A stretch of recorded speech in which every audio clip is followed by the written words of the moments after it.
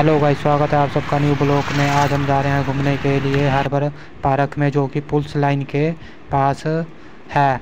तो मिलते हैं आप सबको सीधा पुल्स लाइन में हार्बर पार्क के मेन गेट पर। और ये हम आ चुके हैं हार्बर पार्क के मेन गेट पर। अब चलते हैं सीधा अंदर। देखते हैं घूमने के लिए और देखने के लिए क्या क्या चीज़ है हार्बर पार्क में।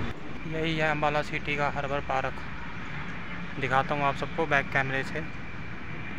और ये आ चुकी हैं जो सवेरे रनिंग करने के लिए आते हैं, जिनका पेट निकला होता है वो मशीनों पर एक्सरसाइज करके अपना पेट कम कर सकते हैं।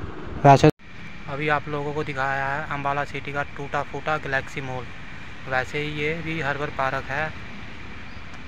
टूटा फूटा ही है, कह सकते हैं आप इसे।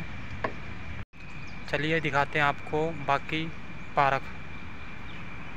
देखते हैं और क्या है इस पार्क में। वैसे तो घूमने के लिए अम्बाला सिटी में कुछ कुछ भी खास जगह नहीं है।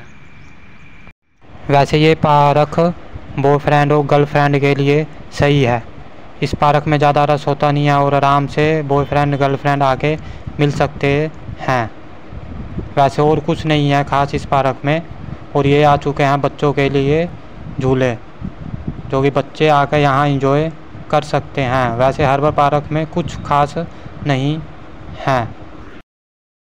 यही था आज का छोटा सा ब्लॉग वीडियो अच्छी लगी तो लाइक करें शेयर करें चैनल को सब्सक्राइब नहीं किया तो सब्सक्राइब करें।